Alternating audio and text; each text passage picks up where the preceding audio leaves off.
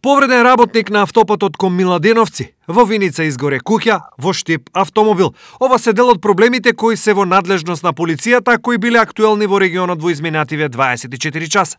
Градежен работник од Тетовско при работа на автопатот Скопје Миладиновци се здобил со тешки телесни повреди по пат од висина од 3 метри. 24 годишниот ИИ итно е пренесен во Штипската клиничка болница, каде му било укажана лекарска помош. Увид на местото на настанот изврши екипа од Свети Николската полициска станица, а за настанот бил бил известен и трудов инспектор. Во меѓувреме, 68 годишен виниченец ТТ остана без кров над глава. Од засега неутврдени причини настанал пожар на кровот од неговата куќа и покрај интервенцијата на виничките и кочанските пожарникари, штетата е голема.